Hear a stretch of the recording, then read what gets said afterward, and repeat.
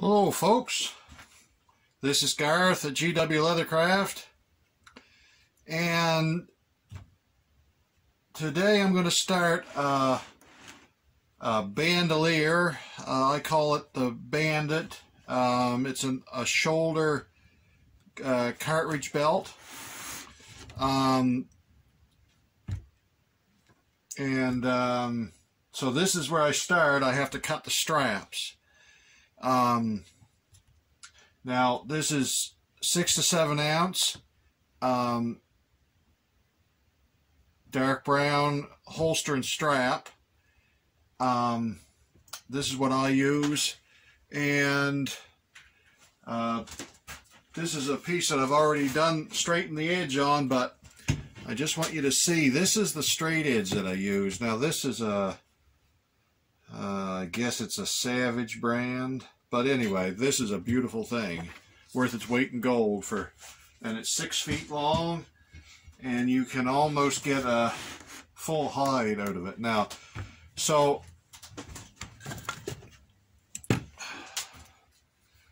I use my strap cutter. Now these here I make two and a half inches wide. So I set the strap cutter to two and a half.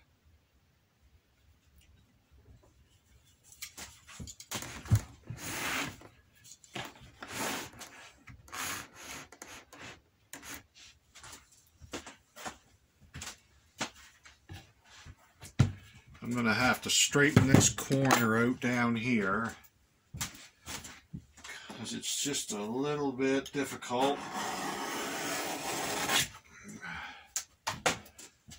to start from that end with the end on such a slope.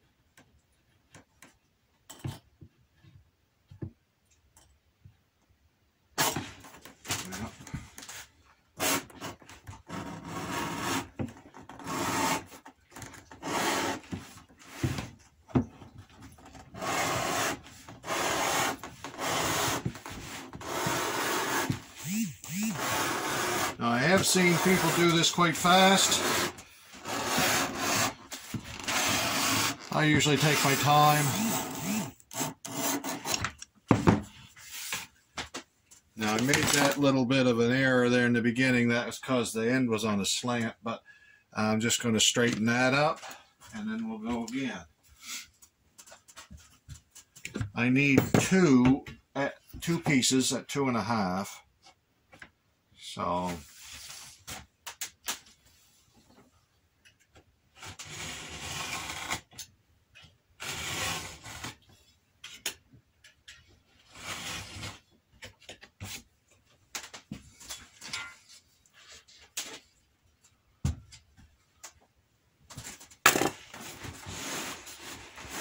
This is not the full hide. I've already cut about two feet off the end. I do that so I don't waste all that leather in narrow straps.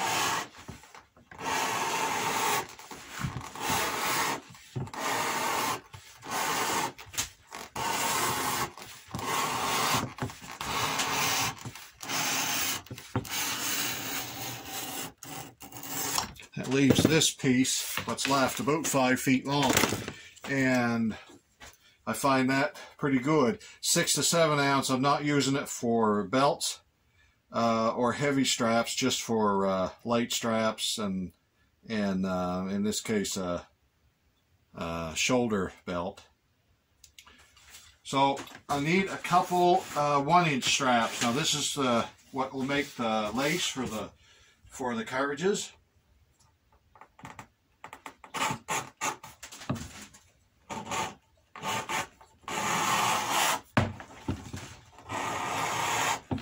When you're doing this, if you take this end and this hand, you're, uh, I'm right-handed, so this is uh, my other hand, the left hand, and um, if you just hold that, pressure on it towards the direction of the uh, tool, it keeps it from, uh, it keeps it more in line. It's, it's uh, important to do that because you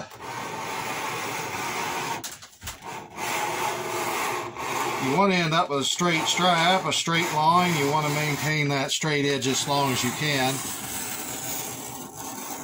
Depending on how things go, sometimes you have to fix it, but uh,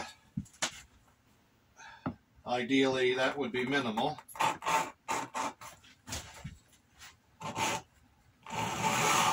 If there's a big belly in it, it's not a problem, really. Usually you won't notice that, but these little little jogs are, are the ones that are the problem.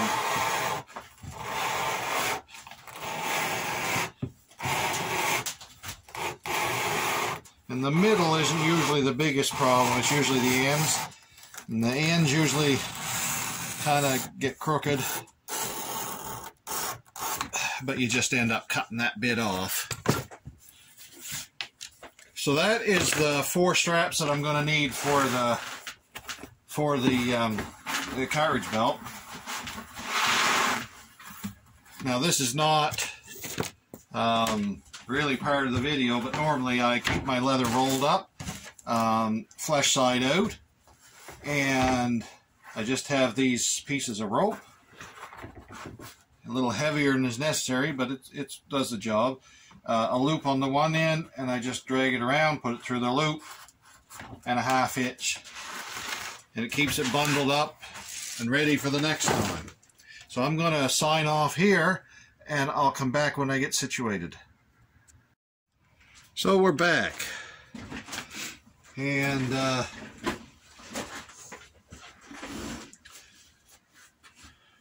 whenever, well, I should I should say that this is uh, going to be what I consider my small. Um, it's probably a medium size for a, a medium to large size man.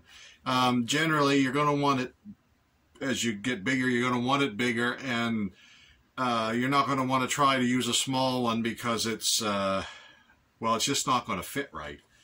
Um, and this is for 12 gauge. Um, so the, the, the knot, the uh, loops are quite big.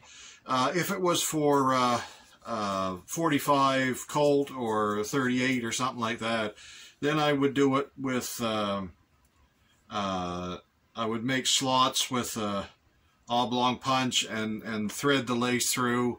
Um, but where it's 12 gauge, I like to stitch the, the loops on. Now, I made up a little thing here. Now, I do this when I'm starting, uh, when I'm, I'm um, going to be uh, doing a size that I don't know, uh, you know, already. Now, this is one I did years ago for 12, well, it was for 12 gauge, but what I found was that 20 gauge wasn't that much different. So the size I use for 12 gauge is one and an eighth along the main belt and two and a quarter along the um, uh, lace, and and it's it's works out pretty good most of the time if it's just double. So you can uh, sort of use that, but you have to have the right figures and and something that a lot of people don't realize it, or at first they don't realize it when they're starting out is that the thickness of the leather makes a big difference um, uh, and and how tight you want it and how much uh, bend you're willing to accept in the back material. Um, let me just see if I got one here.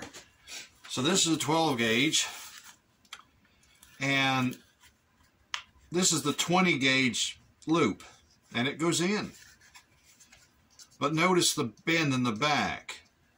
So and the fact that it doesn't come out very easy which isn't very good either now this is what I the way I fit my 12s now it just slides in slides out it's fr got friction enough to hold it but it's not uh, too tight and it doesn't have the back all bent so um, you know, keep that in mind. But the thickness, if you go with thinner uh, material for whatever reason, if all of a sudden you change your mind and go a different way, you'll have to change the size of the loops because that affects it. So that is what we start out with. Uh, after we get to that point, and we, we know what we're aiming for.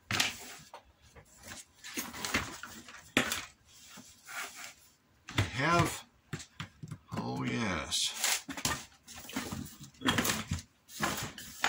I've got to get my template. Just a moment. So I shouldn't have really called it a template because I'm sure you were expecting a bit more. Um, but it just gives me the, the two ends of the main belt. So we start off on the one end of the one and mark that.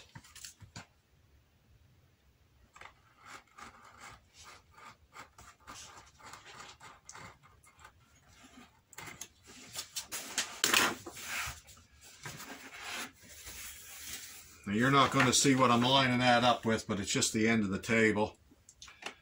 Now, like I said, this is for the one I consider my small size, just because I don't have any smaller. But it's uh, 66 inches is what I call it, and uh, the um, and that refers to the circumference. But you can't just say two pieces 33 because it's a little bit shorter than because of the overlap. So I say 33 would be half, but then I add three inches to each piece. So it's actually, this would be like 36.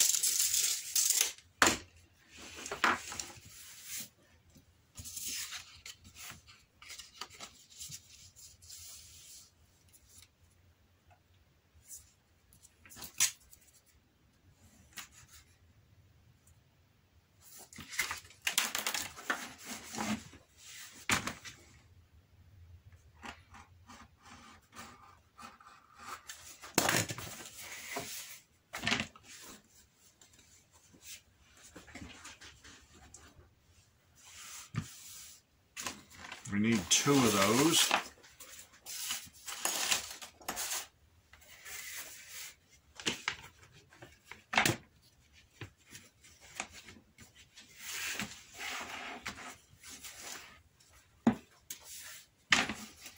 Actually, we need two, but we need uh, them to be mirror images of each other.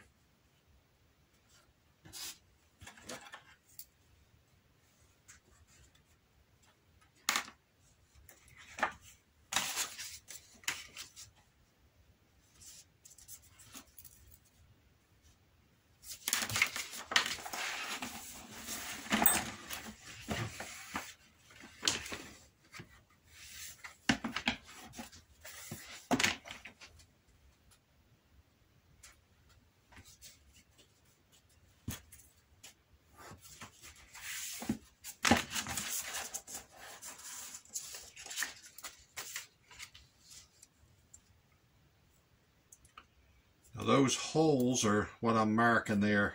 The holes I'm marking. Those are where the lace goes, and that's how this the two halves are attached.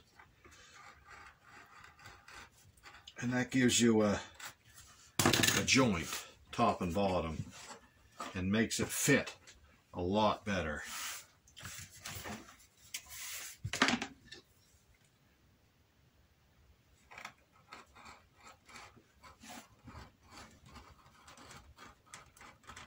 You wouldn't have to, but I line these with suede. Um, and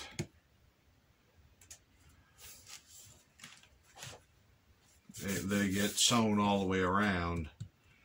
Um, so I now I have to mark off for the lace. Now, um, it would make sense to have pattern for this as well, but I don't. So I normally come down six or seven inches. I think I'll come down six. So that marks the first seam. Now, I set my dividers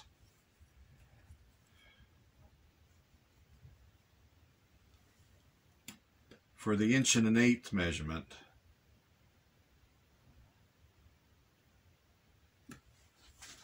I believe it was inch and an eighth, wasn't it? I don't like have to check, but I don't like being wrong either. So it was inch and an eighth. So anyway, I just step it off, and you're looking for, well, you can cram as many in as you can. You can just make a comfortable amount. Um, if it was a 45, quite often you go in six round increments. Um, with a 12 gauge, I don't know that it really matters like that, but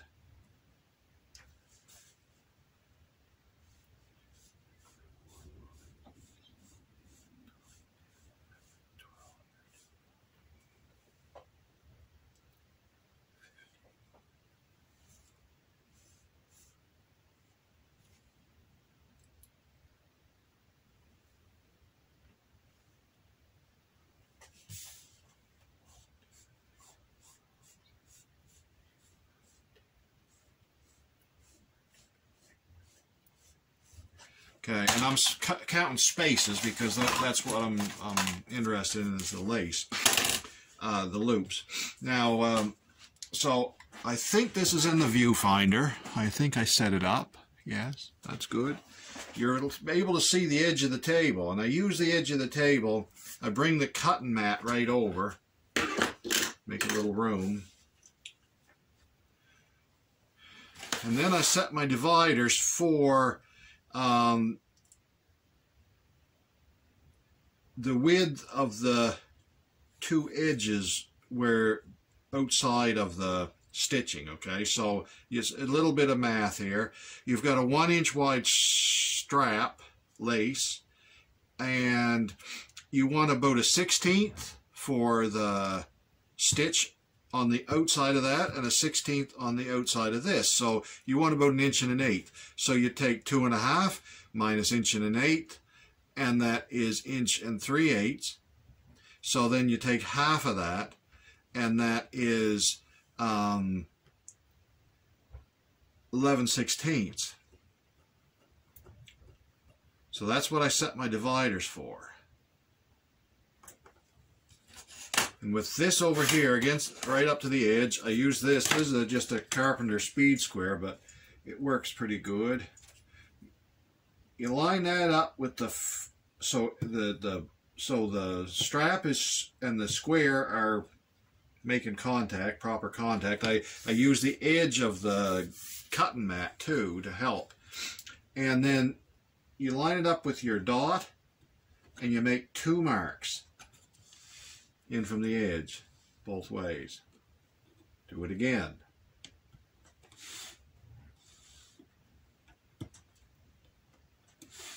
I use the one point of the divider to um,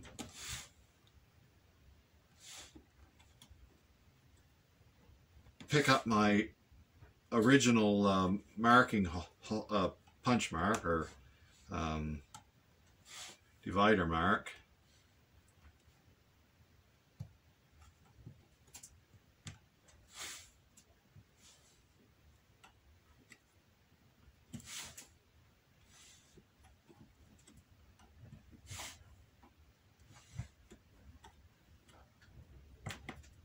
Now for those who can't follow what I'm doing, what I have just accomplished is I've marked the, I've I've indicated, I have indicator marks, these ones and these ones are rows on the outside, and that is where that last stitch and the first stitch will go.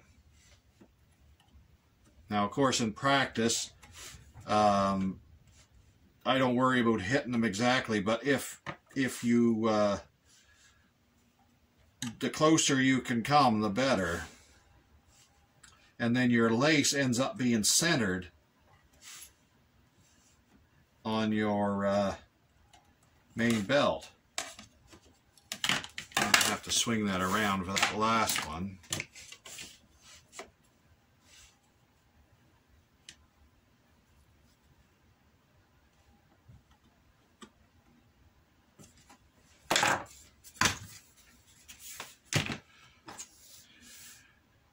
Now I normally just deepen them a little with the with the regular awl just to make sure I emphasize the hole or the punch mark.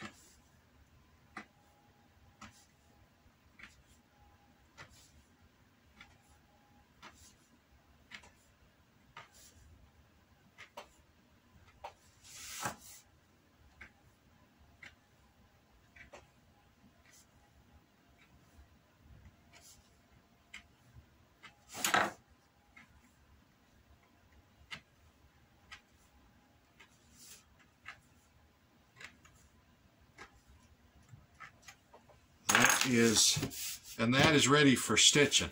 So I'm going to do the other one and I'll bring you back when I start the lace. Now we're back for the lace. So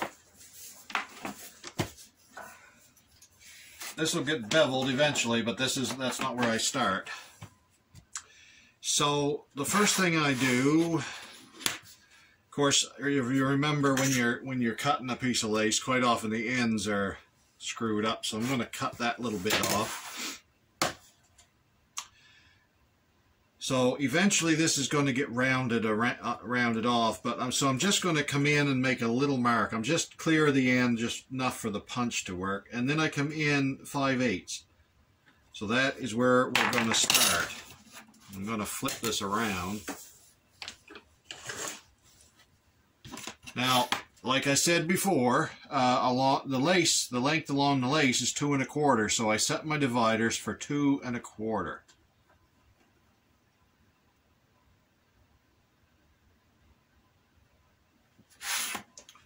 And then we start stepping it off.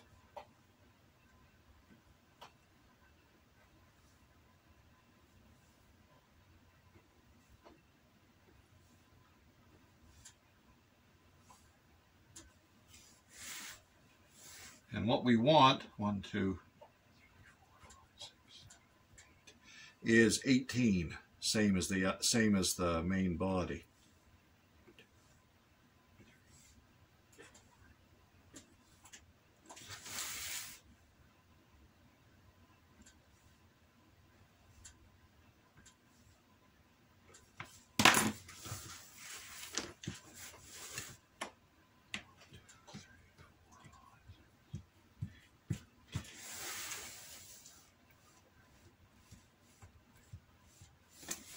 So that's 18.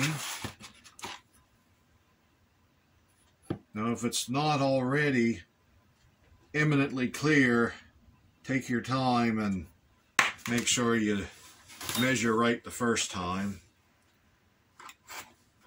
That was the 5 eighths and then I just left a little bit on there. So um, now we want to do something similar as we did with the other piece.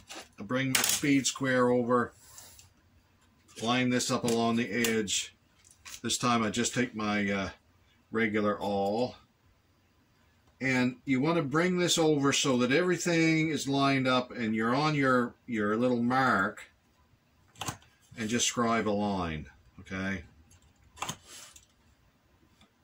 Now that line ends up being square with the edge of the um, lace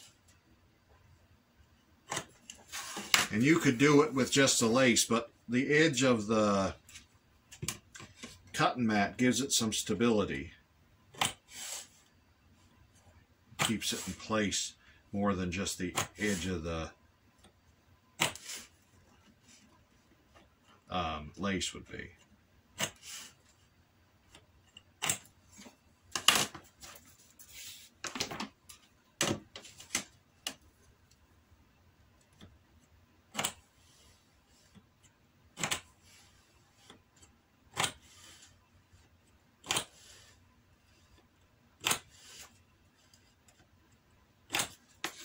So that is that. Now,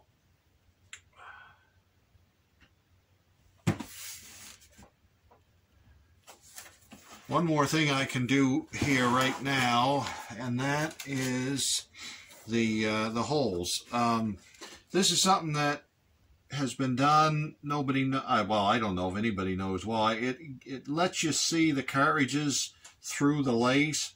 I really don't know if there's a practical reason for it, but that's probably shaking the camera, but you'll have to bear with me. But anyway, I just line it up by eye, and basically I'm squaring or centering it in the little rectangles that I've made. Side to side being more important than endways, but uh, and as as you can guess, I didn't measure anything. Um, I just hit up and and hit it. Um, if you were going to do this and you were scared you weren't going to get it in the center, well, you know, you can always measure.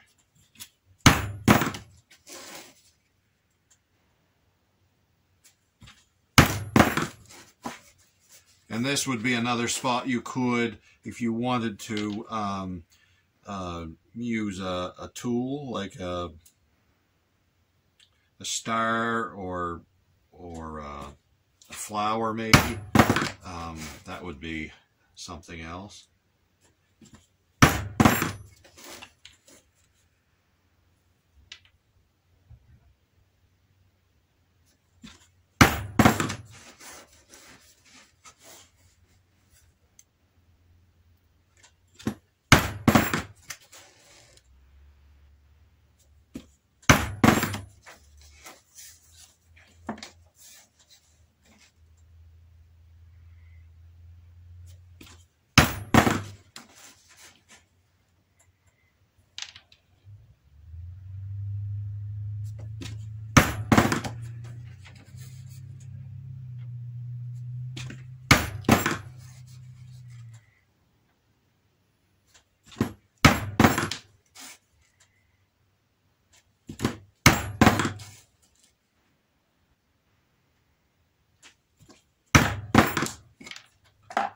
So that is the holes done. I, uh, I'm going to bevel this. Um, so I'm going to move the camera. Okay, so this is going to be a, a short little bit, but I'm just going to bevel this. This is my uh, apparatus you've seen in other videos. And by far the quickest way to do this job.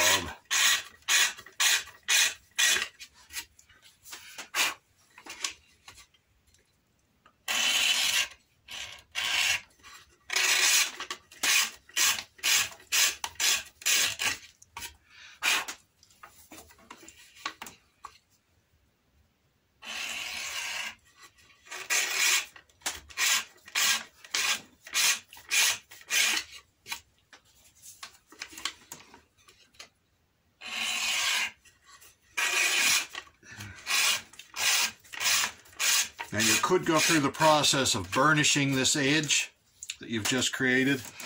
Um, I have found that it's not an important use of your time because generally by the time you get done with your sewing, uh, the burnishing is ruined anyway. So I don't bother. Um, that's up to you, of course, if you're the one doing it. Um, so I'm gonna, I got one more thing to do to that and then will be sewing. Yeah, so I should mention that these holes, I punched them with a 5 16th round punch. And the only thing that's left after it's beveled is to just round off the ends.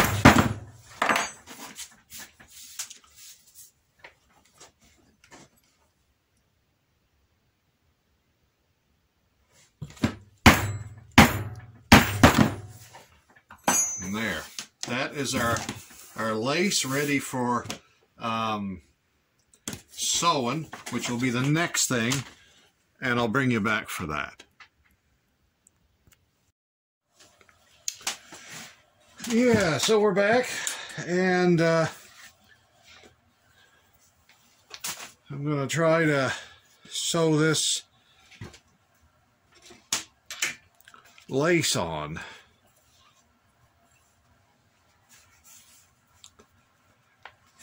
I wanted to zoom in on the area that's where the sewing is so you won't be able to see everything else is going on.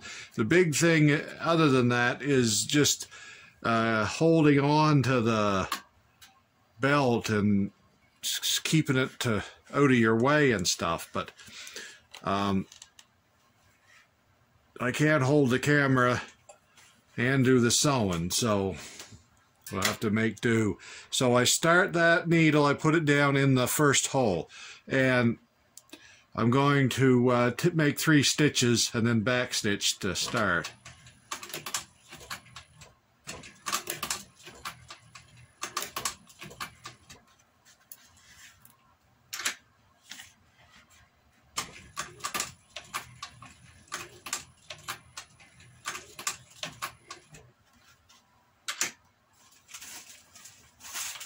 This is a 5100 Techsew, which is a uh, their big machine. It's similar to a Class 4 Cobra. Um, very good machine, lots heavy for this. And I've got uh, 207 thread in it. So we back stitch and get our thread started and then we just start in.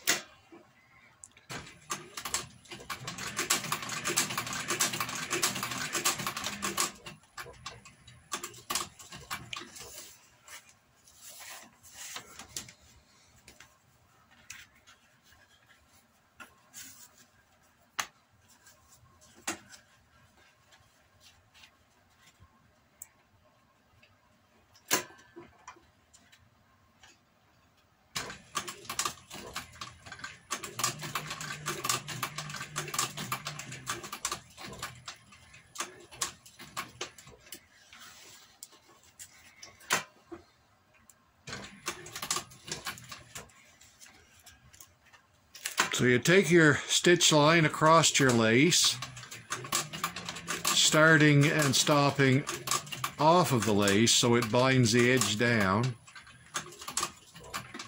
I take one stitch lengthwise, the belt, that's just to get clear of the of the fold. And then diagonally across the space in between the stitch lines. And uh, diagonal is important. Um, at some point, somebody decided that diagonal stitches across there would wear less than if they were straight across. Um, so generally, diagonal stitches is what's done for that reason.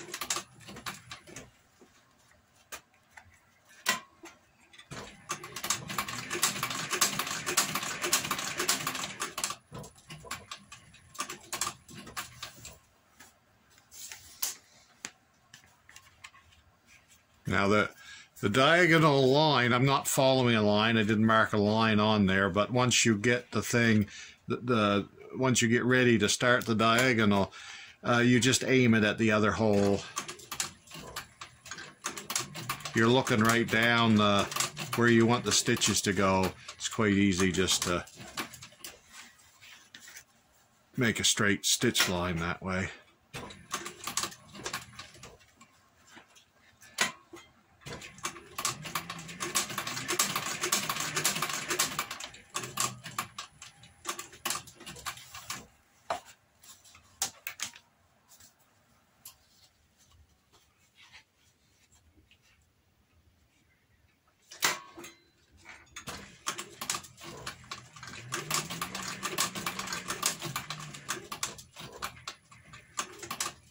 I suppose it's something else that isn't necessarily readily apparent. Uh, this machine is fitted with a needle positioning system, so when you when you stop stitching, the needle locks down in the down position.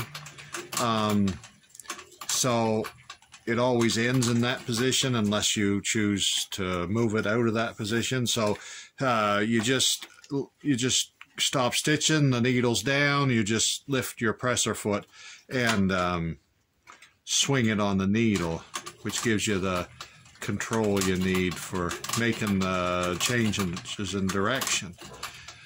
The other thing is, I should mention that I didn't, is the, the presser foot. It's a left toe presser foot. Uh, the right, I don't, well, I have a, a double toe or a right toe, but this is a left toe.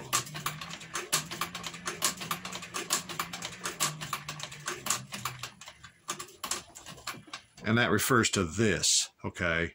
It's a walking foot. The center foot is this part in here, but the, the left toe is this. And you need that to clear on this side over here where the where the fold is.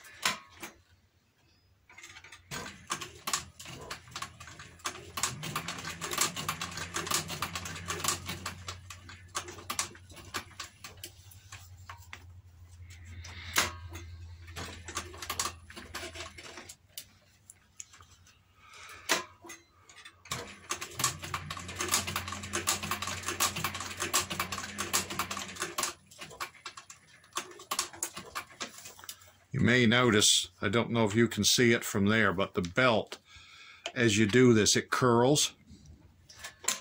Uh, just from the pressure of the stitch and the sewing being, you know, it, it puts pressure on it and it twists.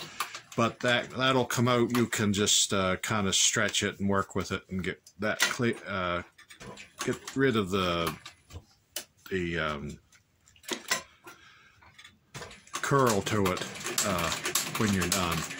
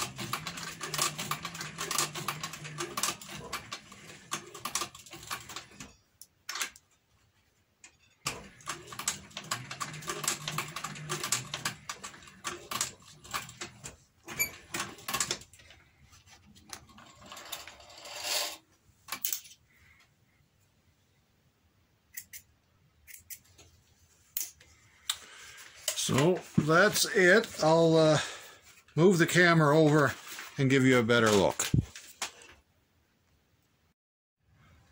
So, with the two pieces sewn, this is what we have. Now this one I straightened out more or less. Uh, this one is the way they end up, uh, straight from the sewing machine. Um, it's because of the tension put on the thing by the stitching. Um, you wouldn't notice it quite so much with hand sewing, but there's quite a lot of tension with a machine stitch. Anyway, I'll show you how to straighten that out.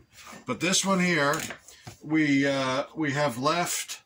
Um, I've got to hide these uh, threads on the where I start uh, with the machine stitch, and I usually have a quite a a, a long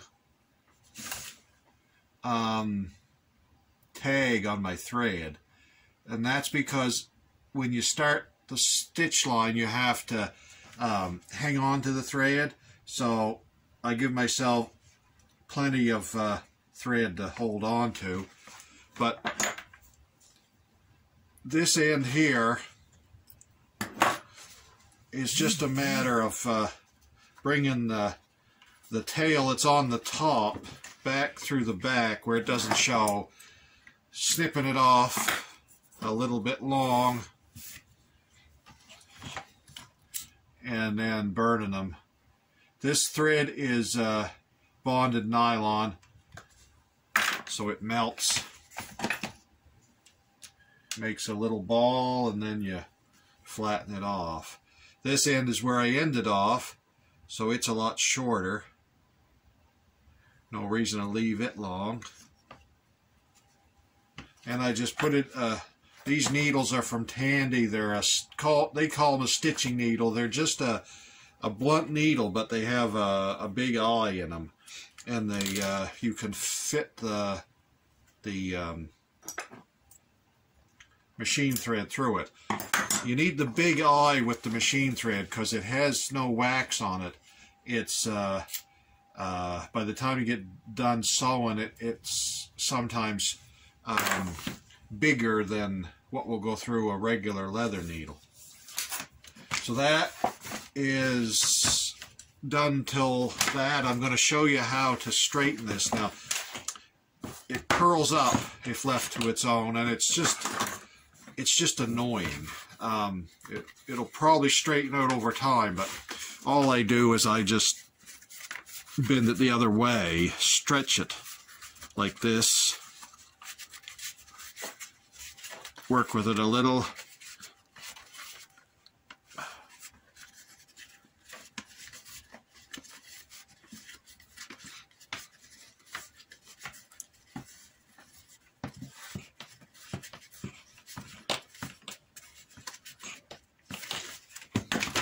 and that is pretty much how it's left. Now, this design, um, if you were making it uh, for a shotgun shells and you were stitching the loops, you could leave it unlined and it would be basically done. You could punch your holes and uh, put your lace, you lace your two pieces together. You, you probably would uh, bevel the edges and and burnish them, but you know, you're, you're getting fairly close because the back is fairly smooth. Uh, the way I do them is I line them with suede and then they're a little bit heavier, a little bit nicer, a little bit stiffer. And um, so that's what we're going to do. But you could certainly, you know, pretty much be done at, at this point. If you are going to make uh, one of these for um, like uh, a 45 or uh, 38 and you're going to use the other method of bullet loop uh, installation which is the oblong punch uh, like this and, and, then weave the the loop the lace material through uh, it's going to make the back lumpy and I find that the the uh, suede lining makes it really nice. Um, not so necessary with this, but it's still a nice touch. So we're going to line this. that's the next thing. So I'm gonna uh, move the camera and get set up and we'll move on to that. So we're set up. Now I don't know what your shop is like, but mine, usually it's difficult to find a spot on the my normal bench for doing any big jobs. So I set up this piece of plywood quite often for uh, jobs like this. And um, because it's a temporary thing, it doesn't accumulate all the little bits and pieces that normally are on my regular bench.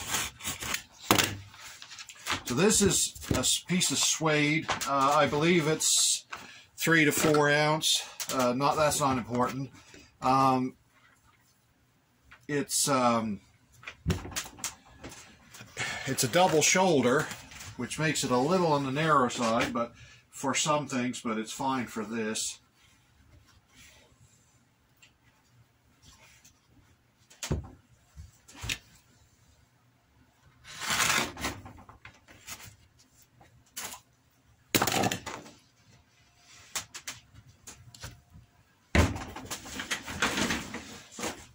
Sit down and work at this because it's just easier.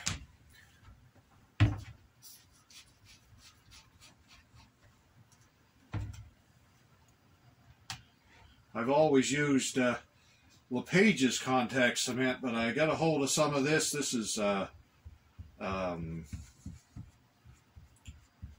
well, what is it? The can's back to me. Well, that'll come to me tonight while I'm asleep. Anyway, just another brand of contact cement, but it is quite a bit different.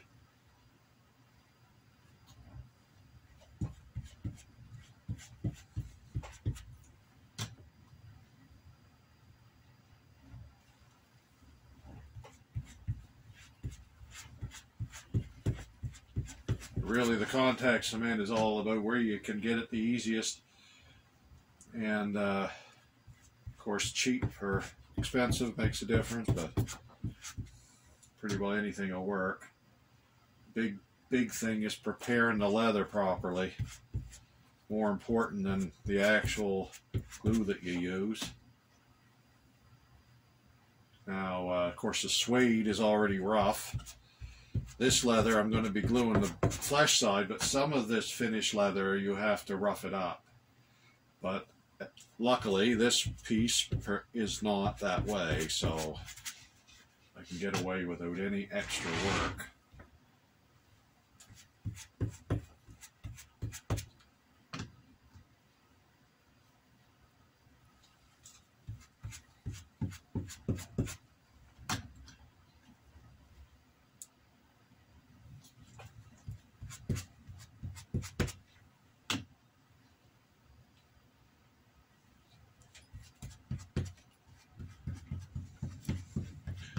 Now, the only thing, the only tip I would give here as far as the you're cutting your piece is you want extra all the way around.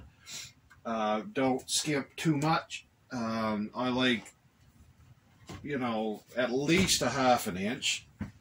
Um, probably an inch wouldn't be too much. And what that allows is uh, on your lining, that we're talking about the lining, is you can uh, uh, you don't have to go right out to the edge with your glue, so it makes it quicker and easier to apply the glue.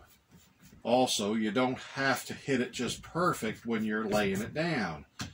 Um, and uh, compared to the leather that I'm holding here, you know, the main body leather, uh, pretty near any veg tan, that you're talking about, uh, suede is far cheaper. So, you know, as far as what you should waste, if you're going to waste anything, the suede would be the first choice.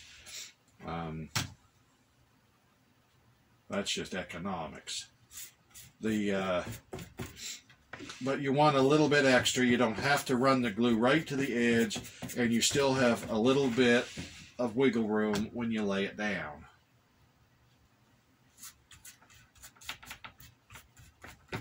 Now, ideally, when you're gluing something like this, you want to run the brush off of the edge rather than onto it, if you know what I mean. So you go like this rather than like this. So, and that just means that the glue doesn't pile up on the edge. Uh, however, um, sometimes you can get away with it. I have found that this leather, since it's finished, uh, the glue doesn't stick to the surface, so it's easy to remove the, on the surface. So if you have leather like that, that's a bonus. Uh, if it's regular, unfinished tooling leather, then you want to be more careful because the glue will soak into the grain side, and by the time you get to it, it's gonna it's gonna be a problem. And if the glue soaks into the grain side, a little spot of it, uh, then you pretty much have to sand it off to especially if you're going to try to dye it afterwards because the dye won't soak in won't soak in where the glue is.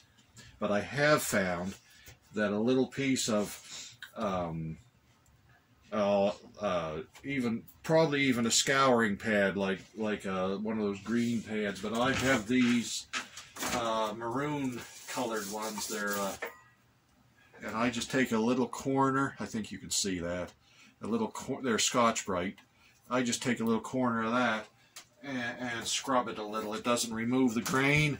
All it does is get rid of the, it will leave a mark though. So it's better if you don't have to do that. And this glue takes longer to dry than the other glue I'm used to, so you have to give it a little longer.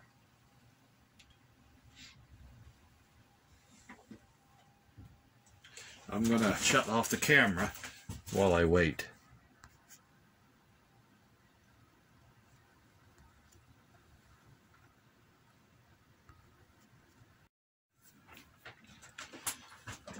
So I believe this will work now.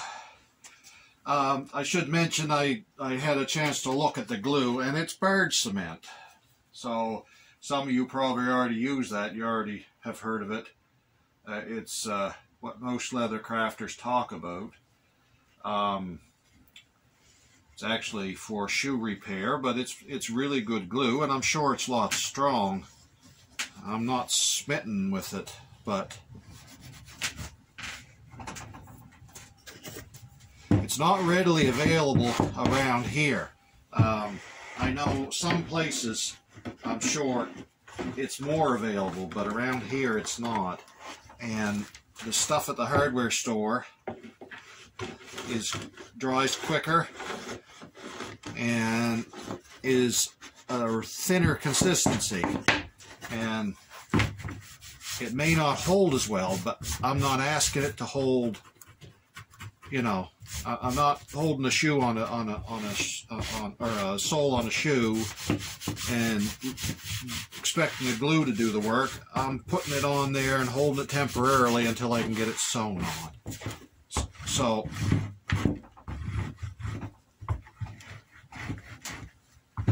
And that is what I do for that. Now,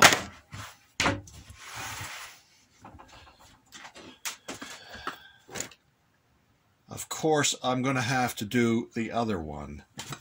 Um, but I might as well finish this one to, to a point and then shut the camera off. So at this point, I'd, I'd edge sew it. And I come in there, oh, it's probably more than 3 sixteenths of an inch, less than a quarter. Uh, it's uh, whatever looks good to you. To, for me, I like it a little wider than some. Um, but uh, you just trace it around um,